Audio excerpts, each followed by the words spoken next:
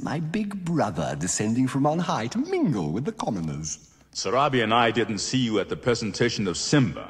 That was today? Oh, I feel simply awful.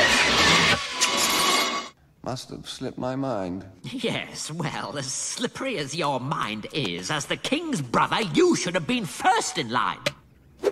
Well, I was first in line. Until the little hairball was born. That hairball is my son and your future king. Oh, I shall practice my curtsy.